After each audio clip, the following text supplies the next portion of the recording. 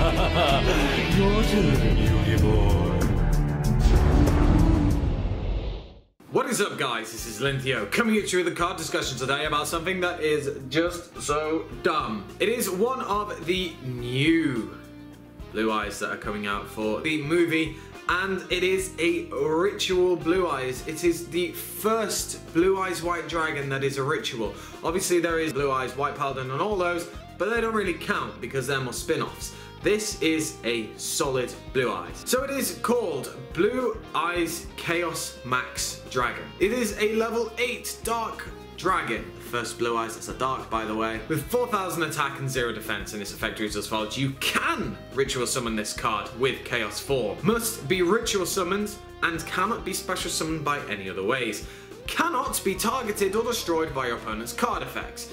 If this card attacks a defense position monster, inflict double piercing battle damage to your opponent. What? This card is just so good. As far as I'm aware, the film doesn't have Advanced Ritual Art, and Advanced Ritual Art recently went to 3 because you can basically just put 3 of this, 3 Advanced Ritual Art, and 3 Manju into a Blue Eyes deck if you so wish.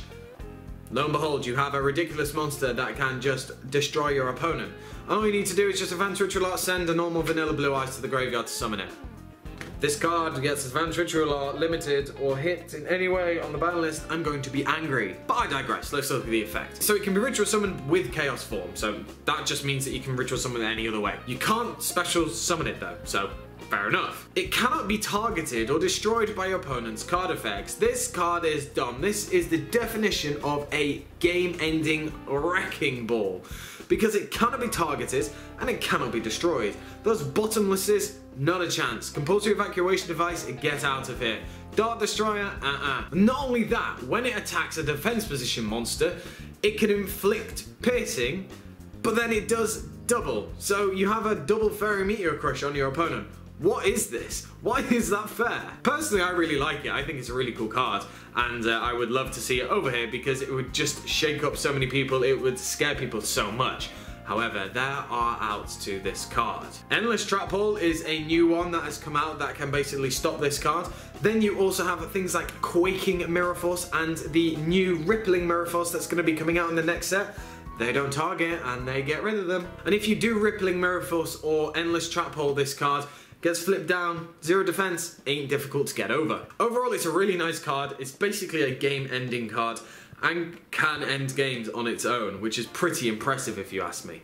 I really like it, it looks awesome, it looks absolutely sick. The fact it's a dark as well is nice because otherwise if this was a light, you attacked a defense position monster, then did honest.